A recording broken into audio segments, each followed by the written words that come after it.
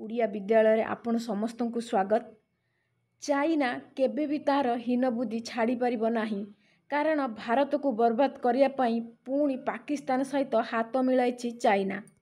କାରଣ ଲଦାଖରେ ଭାରତ ଓ ଚୀନ ମଧ୍ୟରେ ଯେଉଁ ଚାଲିଛି ତିକ୍ତତା ତାକୁ ଦୃଷ୍ଟିରେ ରଖି ପାକିସ୍ତାନ ଗିଲଗିଟ୍ ଓ ବାଲ୍ଟିସ୍ତାନରେ ଏଲ୍ଓସି ନିକଟରେ ଦୁଇ ଡିଭିଜନ ସେନା ବିଭାଗ ମୁତୟନ କରିଛି।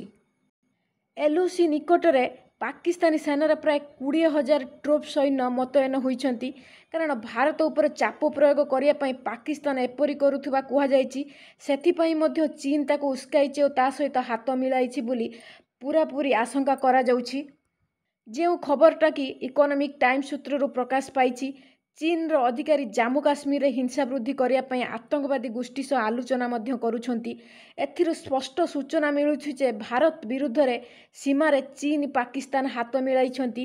ଏହି କାରଣରୁ ହିଁ କାଶ୍ମୀରର ପଶ୍ଚିମ ସୀମାରେ ଉତ୍ତେଜନା ବୃଦ୍ଧି କରିବା ପାଇଁ ପାକିସ୍ତାନ କୋଡ଼ିଏ ହଜାର ସେନା ମୁତୟନ କରିଛି।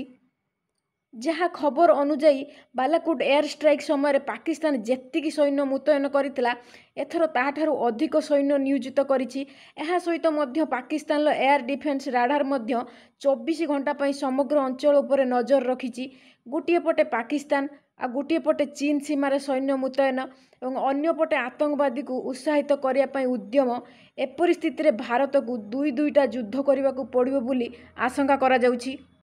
ତଥାପି ଭାରତ କେବେ ବି ପଛଘୁଞ୍ଚା ଦେବ ନାହିଁ। ସାମ୍ନା କରିବ ପାକିସ୍ତାନକୁ ଆଉ ଚୀନକୁ। କେବେ ବି ଆମ ଦେଶର ସୈନ୍ୟମାନେ ଏତେ ବି କମଜୋର ନୁହନ୍ତି ଯେ ଆହାକୁ ଏହାକୁ ଯେଉଁ ଆଗକୁ ଆସୁଛି ଯୁଦ୍ଧ କେବେ ବି ତାକୁ ସାମ୍ନା କରିପାରିବେ ନାହିଁ। କାରଣ ସେଇ ଭାରତବର୍ଷ ଏବେ ନାହିଁ। ବହୁତ କିଛି ଚେଞ୍ଜ ହେଇସାରିଛି ଆମ ଭିତରେ। କେବେ ବି ଆମେ ସେ ହାରିବାର ନାଁ ବି ଧରିବା ନାହିଁ। କାରଣ ନିଶ୍ଚିତ ଭାବରେ ଚାଇନା ଓ ପାକିସ୍ତାନ ମଧ୍ୟରେ ଯେଉଁ ଯୁଦ୍ଧ କରିବାକୁ ସେମାନେ ଚାହୁଁଛନ୍ତି ଭାରତକୁ ବର୍ବାଦ କରିବା ପାଇଁ ଚାହୁଁଛନ୍ତି ଚାଇନା ଓ ପାକିସ୍ତାନ ମିଶି ନିଶ୍ଚିତ ଭାବରେ ଭାରତ ତାଙ୍କୁ ଟକ୍କର ଦେବ। ଯଦି ଏଇଠି ଯଦି ଏଇଠି ଦୁଇଟା ଯୁଦ୍ଧ ହୁଏ ତାହେଲେ ଭାରତର କ'ଣ ରହିବ ତା'ର ସାମରିକ ସୈନ୍ୟ ରହିବ ବା ଯଦି ଦୁଇ ଦୁଇଟା ଯୁଦ୍ଧ ହୁଏ ତାହେଲେ ଯୁଦ୍ଧର ପରିଣତି କ'ଣ ହେବ ଭାରତର ପ୍ରତିକ୍ରିୟା କ'ଣ ରହିବ ନିଶ୍ଚିତ ଭାବରେ ଆପଣମାନେ କମେଣ୍ଟ ବକ୍ସରେ କମେଣ୍ଟ କରିପାରିବେ। ତାହା ସହିତ ଏମିତି ନୂଆ ନୂଆ ଅପଡ଼େଟ୍ ପାଇବା ପାଇଁ ଓଡ଼ିଆ ବିଦ୍ୟାଳୟ ଚ୍ୟାନେଲକୁ ସବସ୍କ୍ରାଇବ୍ କରିବାକୁ ଜମା ବି ଭୁଲିବେନି।